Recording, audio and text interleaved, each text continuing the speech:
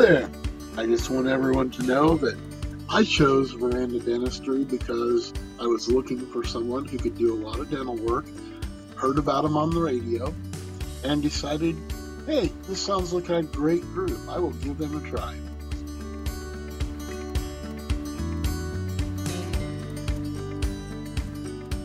If you'd like to go to a place where everyone treats you like you're a member of their family, you definitely want to go to Veranda.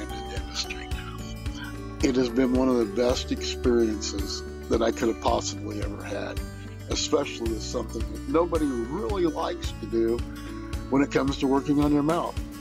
And I just got dental implants, and they're totally awesome. Dr. Chad couldn't have done a better job. The staff there, the people are awesome.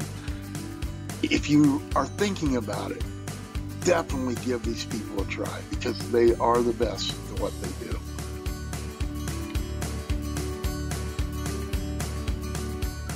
This is an easy one.